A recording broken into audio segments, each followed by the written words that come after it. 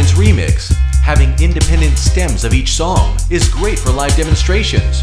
Example, bass, drums, guitar, melody, where I can mix into ways that just weren't possible until now, giving it a new groove. I can adjust the volume of each instrument, solo and mute tracks and adding effects during the song. It's a great way to tease the listener and make the song exciting. We would like you to share this video. Thanks.